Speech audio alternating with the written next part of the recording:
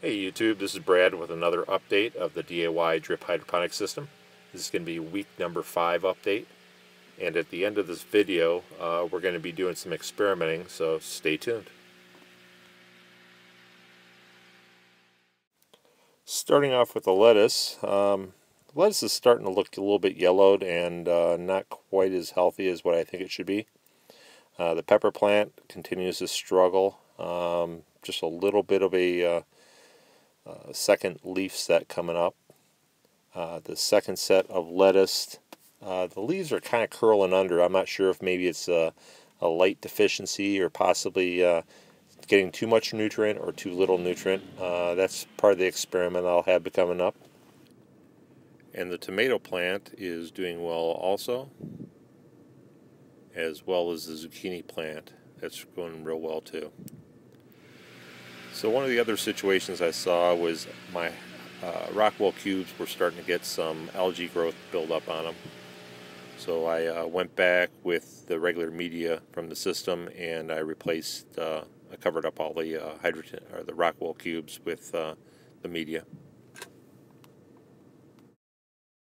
So the timer I was using for the pump to turn on the nutrient solution, uh, that was only, you were only able to set that in half hour increments.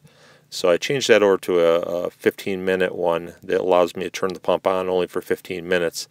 And that way, if I'm getting too much nutrient on the, uh, the lettuce plants, uh, that's going to allow me to uh, scale it back and give it only 15 minutes of nutrient solution. So this week is the uh, switch over to the regular growth formula. And here you can see um, the bottle on the right is a full bottle I just mixed up and the line on the bottle on the left is where I drain the reservoir. So that shows you how much the plants are using in a week. Now this is the experiment I'm running right now. The uh, system is in the basement, which gets pretty cold at night. Uh, it gets down in the 50s.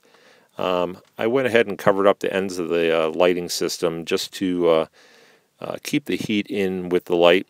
Also turned on the uh, lighting during the evening and it's off during the daytime. As it's in the basement, it doesn't matter because it's dark down there all the time. So within about an hour after I uh, had done this, the temperature had raised up pretty much with the uh, the grow beds here. The other part of the uh, problem is I'm not sure if my lighting is actually uh, working the way it should be. So I hung a uh, grow lamp off to the one side of the grow system, and I'm going to see if uh, when this turns on with the regular lighting also. If the plants start turning toward that light, it would tell me that the plants are getting more light from that grow lamp than they are from my lighting system. So they'll uh, tell me exactly what's going on there. So that's going to be the upcoming thing during the next week. And uh, if you want to keep up on that little experiment, go ahead and click on the subscribe button. If you like my video, go ahead and click on the thumbs up button. And as always, have a good day, and we'll uh, talk to you next week.